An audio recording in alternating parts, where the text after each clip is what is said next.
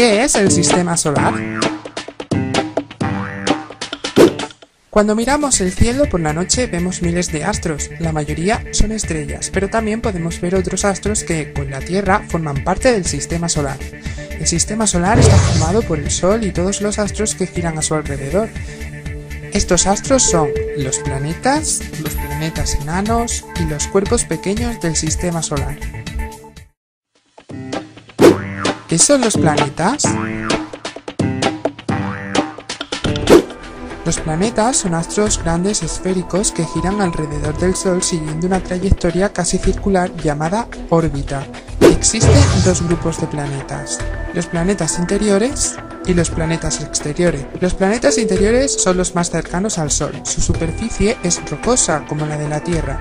Los planetas interiores desde el más cercano al Sol son Mercurio,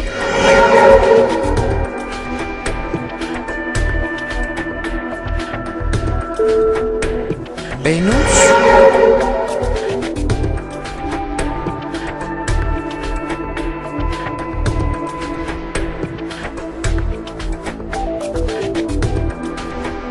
la Tierra.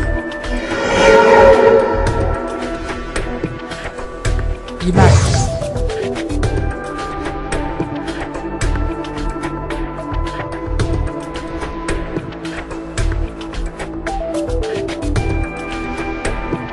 Los planetas exteriores están más lejos del Sol, son mayores que los interiores y son de naturaleza gaseosa, es decir, no tienen una superficie sólida como la de los interiores. Los planetas exteriores desde el más cercano al Sol son Júpiter,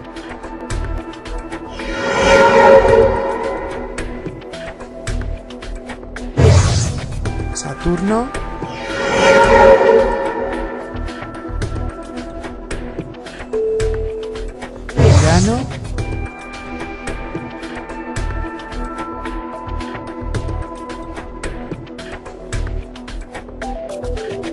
y Neptuno, que es el más alejado.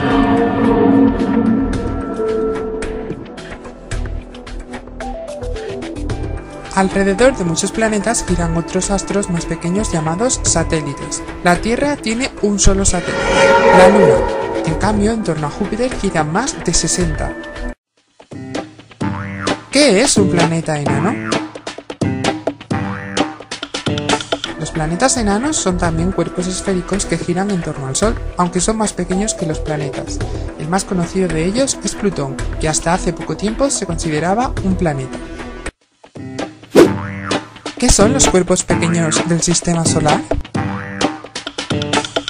En este grupo se incluyen decenas de miles de asteroides y cometas. Los asteroides son cuerpos pequeños de forma irregular que giran en torno al Sol. Se encuentran sobre todo en dos regiones, el cinturón de asteroides entre Marte y Júpiter y el cinturón de Kuiper más allá de Neptuno. Los cometas son astros helados que giran en torno al Sol con una órbita elíptica muy alargada. Cuando se acercan al Sol muestran una cola brillante.